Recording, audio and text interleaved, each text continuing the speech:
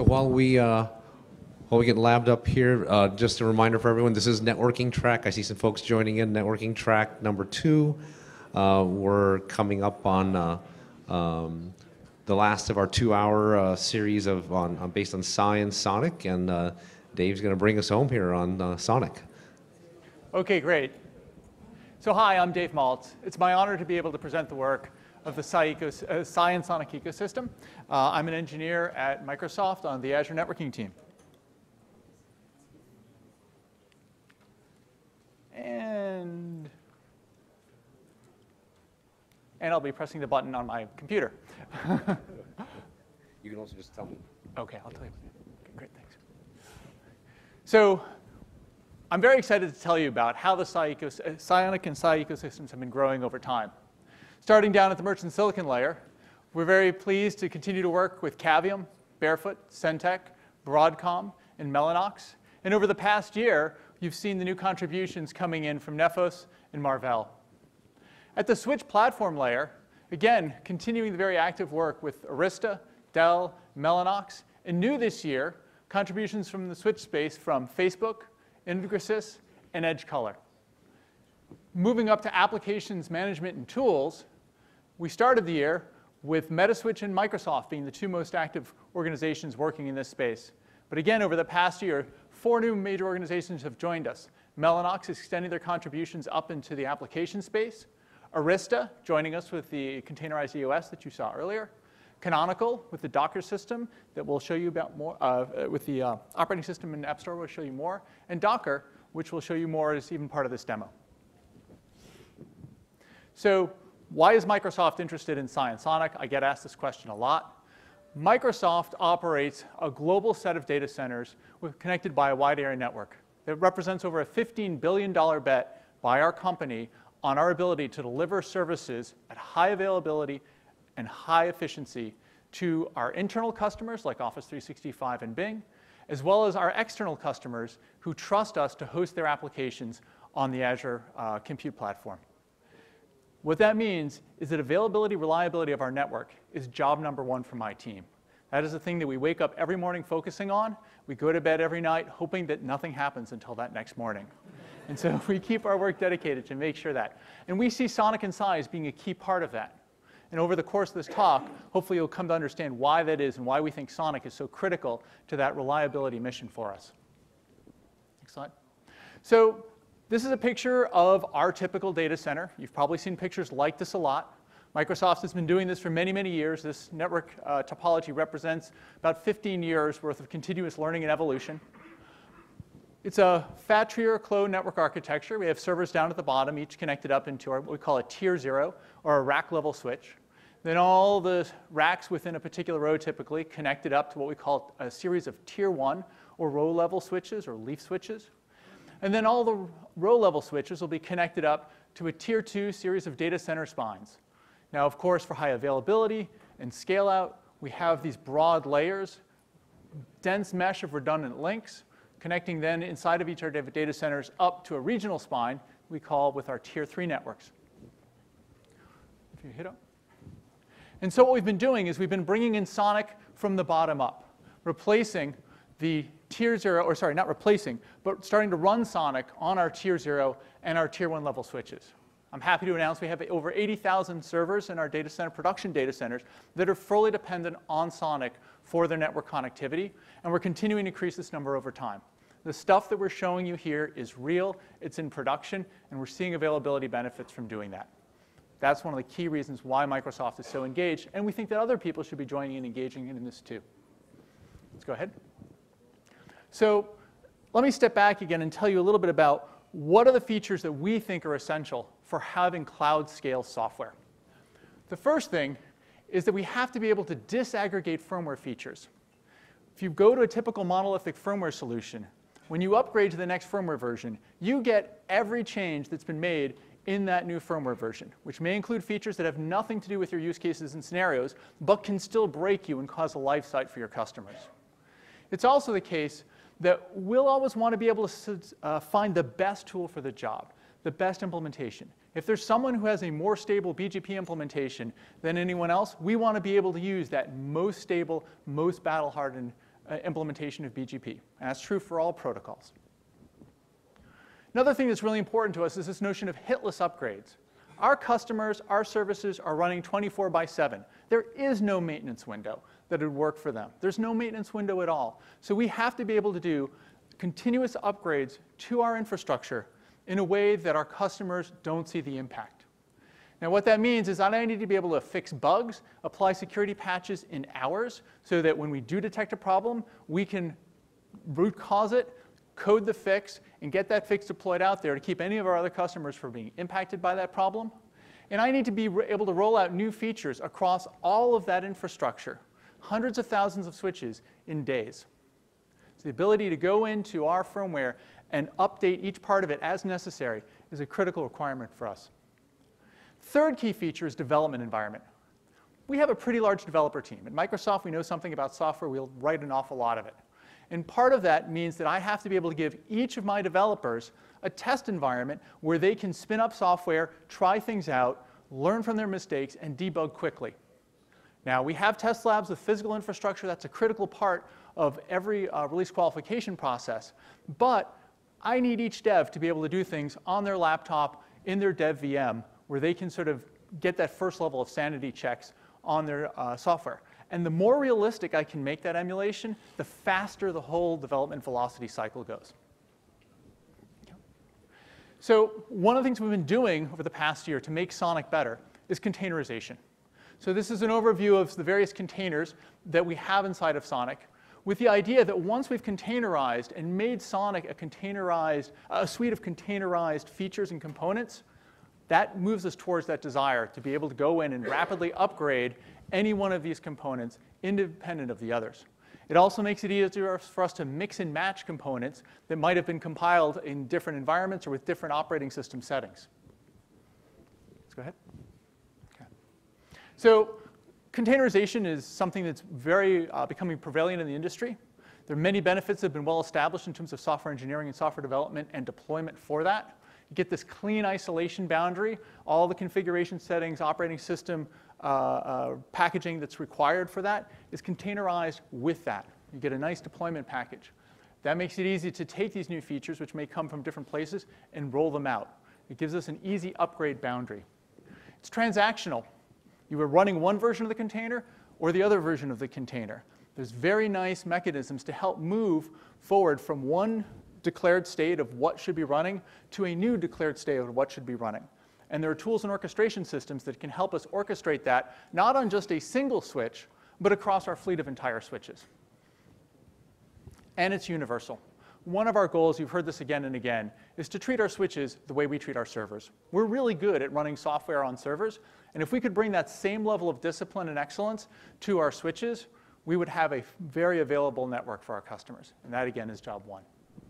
So by taking containerization and putting it to Sonic, what have we gotten? Serviceability, right? By upgrading containers, we can service and add new features or bug fixes into any part of the Sonic stack. We get extensibility. Rolling out a new feature is either adding another container to the existing uh, uh, fleet of running containers or taking a container and replacing it with a new one. Development agility. Again, our developers can work in different environments even. And when they are ready to deploy, they package that up inside of a container, and now they have a good deployment unit that our orchestration systems know how to take and roll out across all of our switches. And cross-platform. I guess I sort of alluded to this earlier. We actually will show you in the demo how we can take code that came from different flavors of Linux and actually get them all running on the same Sonic platform. Okay. What I'm going to do next is uh, uh, show you a demo these demos you can see running live uh, over in the Microsoft booth or in some of our partner booths. Um, but to capture and to keep me from saying the wrong thing, we're going to use a recording for right now. And, whoops, and now is when we start hoping that our text is really going to work.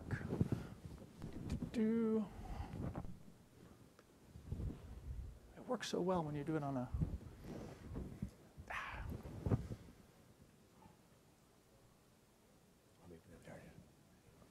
In this demo, I'm going to show you the Sonic containerized design. Here is the Sonic device. There are eight containers running. Each container hosts a service. The database container hosts the Redis database. BGP container runs BGP protocol. If you want to manage the BGP protocol, you can log into the BGP container and check BGP status as well as configuration. Next, I'm going to show you one advantages of using container, the easy portability across machines. Imagine you do not like Quagga BGP stack and want to use another BGP stack. Sonic allows you to do that by just running another BGP container.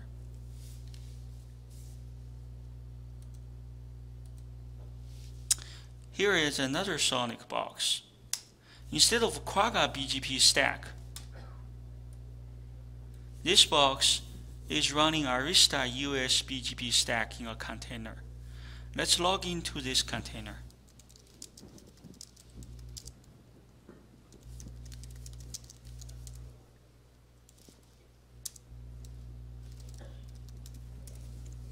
This container is uh, based on Fedora 18. Without container, if you run, if you want to run this BGP stack on top of Sonic, you need to recompile all the source code under Debian Jessie. However, with with container, you can simply take the binary and run it in a container.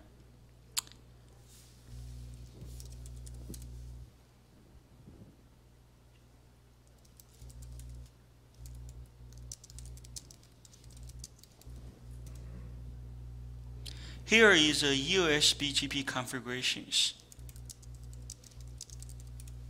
And we can also see the BGP session is up, and this box is learning routes from the peer. Other than this BGP container, this Sonic box is the same as other Sonic box. So you can log into the switch state service and check all the routes here.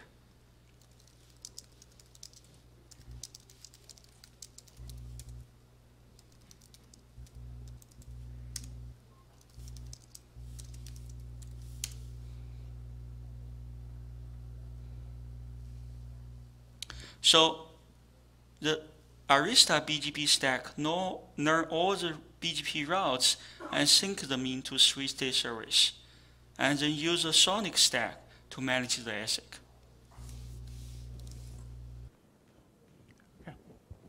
So what you're seeing here is that if you're familiar with router CLIs, using Sonic with the appropriate set of containers running on top of that can look like a lot like driving switches that you're used to. It's also a software platform. So underneath the covers, we're using the Redis database to be part of that switch state service. And so you can get new advanced functionalities by dealing with that switch state service, that Redis database, using standard software mechanisms. And if you're familiar with Docker, again, probably many of the commands that you saw you'd recognize as being just standard container uh, Docker mechanisms. Let's go there. OK. The next demo I'm going to show you is going to speak to how we can use P4, which you've heard about previously, to create an emulation of the ASICs and the data path that can, then can be used, again with the containerization strategy, to create multiple switches that a dev can run on their laptop as part of their testing, uh, testing suite infrastructure.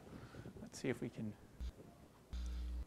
Oh, it sounded like it goes. We also built a Sonic P4 Docker, which contains the full Sonic software stack inside one Docker. It runs on top of P4 software switch, which allows us to run Sonic without a real switching ASIC, so that we can test the Sonic software on a normal server. In this demo, we built a four-node testbed. Host 1 connect to switch 1, and host 2 connect to switch 2. Switch 1 and switch 2 are connected via BGP and the switch 1 advertises subnet to switch 2, and the switch 2 advertises subnet to switch 1. Now we start the test bed.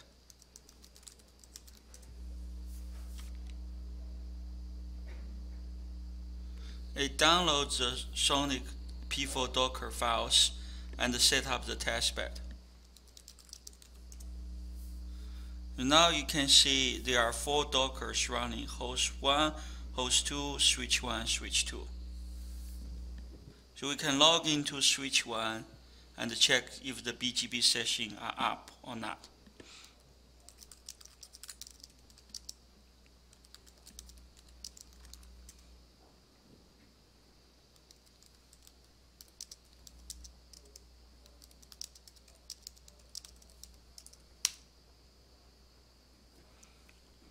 You can see the BGP session are up, is up.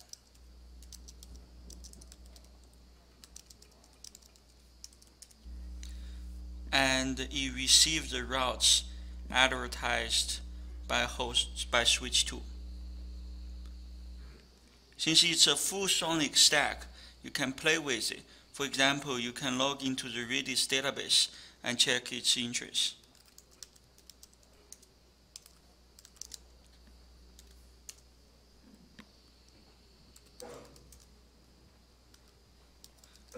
Now the BGP session up, and we can ping from host 1 to host 2.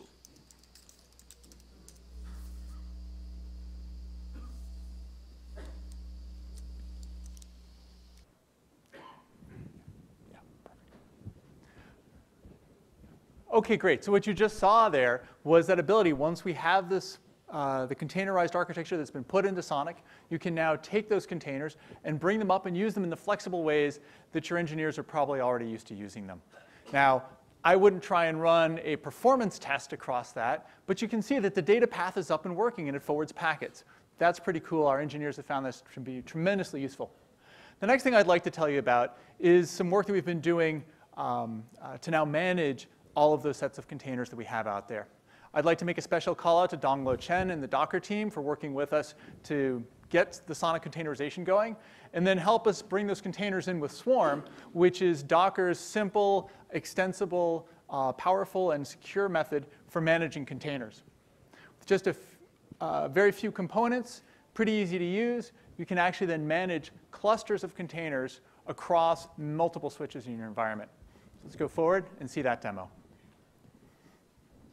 In this demo, we're going to show hitless BGP upgrade through Docker Swarm.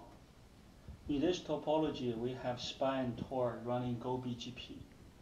We plan to upgrade BGP stack on the leaf node from Quagga to GoBGP. We have built Quagga and GoBGP Docker and stored the Dockers in the Docker registry. We're also running a Docker Swarm Manager to upgrade the Docker on the leaf node. In the demo, we'll first put the leaf into maintenance mode and keep the ASIC routing table freeze temporarily before we stop the Quagga. Then we're going to stop Quagga and start GoBGP and finish the BGP stack swamping. In the whole process, you will see that ping is working from spine to the Tor throughout DOT.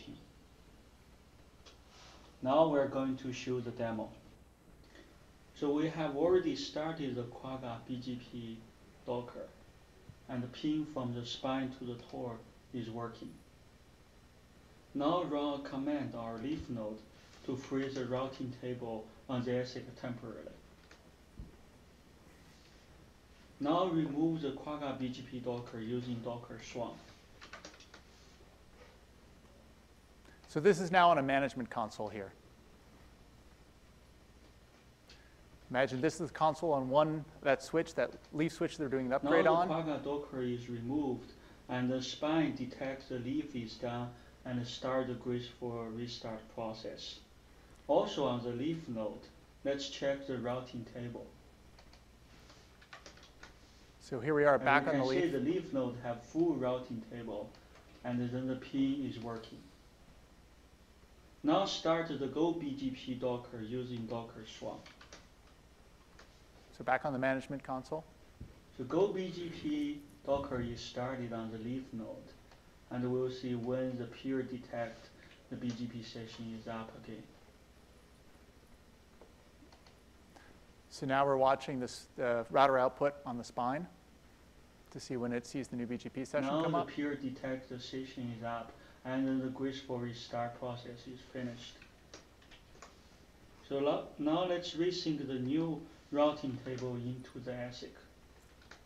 And now we're going to tell the leaf it's okay During to release its freeze. process, the ping from the spine to the Tor is working without a single drop. We have finished the hitless and upgraded the BGP stack. Pretty cool. Okay, great. So that's three short demos. There's a lot more available at the Microsoft booth and the booths of our partners. Again, as Shin said at the earlier SAI, We have multiple um, sets of ASICs packaged into different switches by multiple vendors, running SAI and Sonic as a common theme, but then running different sets of management applications on top of them. And you can also see a switch back and forth. You can see a couple of other things. We've got the wedge switch going. You can see us doing 100 gig links, RDMA, and some of the values of that. Swarm as a way of doing management for this, our containerization strategy, and how that's paying off for us in terms of dev agility. And of course, the most important thing is actually about you. This is an open source project. I've explained to you why Microsoft is so committed and invested in this. But really, the strength of Sonic and SAI is going to come from participation from the industry overall. That's what's going to help battle, harden, and test every line of code that we're all then going to be able to benefit from as we run it in our networks. We're looking for contributions in all of the areas. SAI, new hardware platforms, new features, applications, and tool, test suites, all of these things are going to help make this a better ecosystem that all of us can confidently use inside of our networks. You can join us by starting out on our website. We're currently on GitHub directly. We have a project mailing list. The source code is all available. You can go download it right now. There's a wiki, and perhaps of interest for people who want to start kicking the tires on the wiki, we have a page that'll show you um, for many, many different switches, we have uh, precompiled uh, binaries available that you can download and start playing with. And you can see the font is so small you can't even read it. We have so many participants now. Go to the wiki, look it up, see if the switches that you're using are there. And if not, think about joining in, making a contribution, getting involved. So thank you. Happy to take a few questions.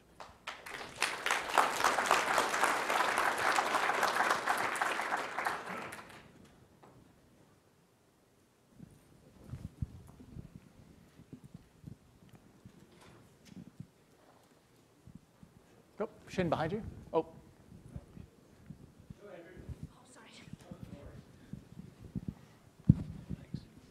Uh, this might be a multi-part question, so forgive me. Um, I assume, first of all, all your containerized features are written to your SAI implementation? That's right. And I assume further that your SAI implementation is written to access your ASICs directly from user space, or do you proxy them through the kernel? Uh, we, I'm not even sure how to answer that question. Someone help me out. Guohan, or reason being by proxy, if the answer to the second question is yes, do you then have you then granted all of your containers direct access to your hardware, and is that not a security concern? No. So the containers themselves are not directly running SAI. SAI is running as part of the Sonic infrastructure containers. The management and application tools are talking to the switch state service, going through that Redis cache, and then there's switch syncd, which is then taking what's in the Redis data and the, the, the, schemata, the, the schema of the Redis data, and then actually making calls via SAI into the ASIC to get the ASIC to be do the right thing and match what the um, switch state D has been told to do. He is effectively communicating through some non-hardware protocol to that's, some other service that's then communicating to hardware. That is correct. Actually, if we, um, yeah, yeah. So if you look at stare a little bit more into inside the, the sonic space, then what's happening is your network management applications are basically talking to the database, the switch state uh, uh, database, which is, which is then used to take data, store it, get that down into the ASIC via SAI, and also then provides the communication channel between different agents. So it's kind of like a pub-sub model, and this is how agents can see what each other are doing and communicate that way. But it's secure in that they can't actually go and corrupt what's on the ASIC. Yeah, just want to add one thing is that uh, uh, in the Sony project, uh, all the applications talk to the database directly, and then all the vendors, they not only provide SAI, but also package the SAI into a container, so they deploy, they provide the container to every, on every platforms, and then that container can access those hardware through whatever mechanism that the vendors uh, supports. Then um, our application is only to talk to the database. Okay. Thanks, Guohan. Uh, so just want to add one more point. Uh, I think when you ask about the question about containers, so uh, by default, a lot of time containers do not have the privilege mode to talk to the hardware directly. Very deep, right? In this case, yeah. Uh, uh, thanks for Dongluo here. So Dongluo can probably explain the host mode and privilege mode um, so Docker is working on uh, host networking, so it will support uh, you can deploy to use the host network just you, in Swarm. I mean, Docker always support the host networking, but in Swarm we are going to support that in the service level. Uh, the other one is uh, the security concern. Uh, Docker used to just have a privilege mode that you can do anything. Um, what we are moving into is a capability uh, specific uh, thing. So you have to specify what you are going to support in this uh, service. So you, you wouldn't be accidentally allowing anyone to run any container uh, with uh, all the privilege. Okay, great. Uh, no- Any other questions? Do we have time? Um, uh, you mentioned about containers, and you said don't do performance testing on the on that container. I wanted to see if you were able to push the envelope. Were you able to get line rate uh, kind of throughput, or Uh, okay, so, so, so to be clear, the scenario that we're doing there is that we have a developer who's taken a laptop, you know, and is now running, uh, as you saw in that demo, say four containers, two hosts, two switches, and we're using a software emulation of the data plane, which has been modeled in P4. So the code path that you have to go through to send a packet through that data path is got a fairly significant slowdown. So when I say don't do a performance test on that, what I mean is don't try and do a TCP max transfer through that you know, software emulated data path and think that that's going to represent the performance you're going to get in production. Now, if you're doing uh, control plane level experiments, there, the, the, you know, so long as you have a reasonably powered CPU, the kind of measurements you're going to get are probably much more predictive. So let me be clear. I was talking about it's an emulated data path at that point. It's as accurate as the P4 model of the data path is. So you could test out you know, all the features of that data path, encapsulation, decapsulation, ACL2 mapping. It's just, um, you can imagine all the lines of code that are being executed for each packet that's getting sent through because there's no ASIC acceleration for that. Um, since you mentioned, since you mentioned that like the performance testing in the control plane, I was wondering, um, do you will be able to share some result on your BGP loading time? I, basically, I want to see like, uh, do you see any performance penalty when it goes through the Docker, goes through the, dat- the database, uh, then eventually going to the the site? Okay. Guohan, can you take that one for me? We should have Guohan a couple. Good catch.